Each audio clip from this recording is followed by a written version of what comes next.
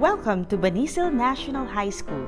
Let me introduce to you some of the programs implemented in our school to help raise awareness on health and safety protocols in this dark time of COVID-19 pandemic and new normal education.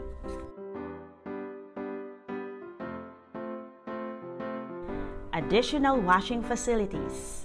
Sourcing out of funds and donations from the internal and external stakeholders each advisor maintained the orderliness and cleanliness of their classrooms and restrooms in accordance to school safety protocols. Group chat for student-teacher interaction for reminders about personal and health hygiene.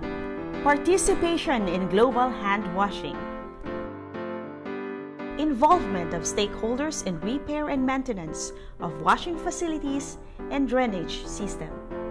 The implementation of the WINS program here in Banisil National High School would not be this successful if not for the strong support of our stakeholders, both internal and external.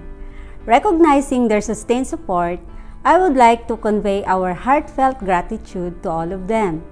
The DepEd Jensen Division, DepEd Jensen Health Section, former school principal Sheila Gibalbon, teaching and non-teaching staff, stakeholders, parents, guardians, and students. Thank you very much. Alhamdulillah, malambuong Banisil. To support this program, Banisil National High School conducts regular group hand washing facilitated by WINS coordinator, school nurse, teachers, and SSG officers. In Banisil National High School, we strictly followed and implemented the guidelines directed to us by the GenSan Division Health Section. We still conduct routine water analyses, maintain the cleanliness of our classrooms, comfort rooms, offices, laboratories, and washing facilities.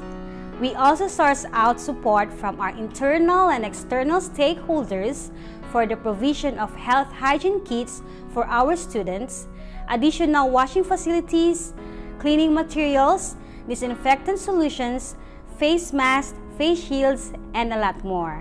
Tandaan, ang bawat Banisilian, winner dahil may wins alam.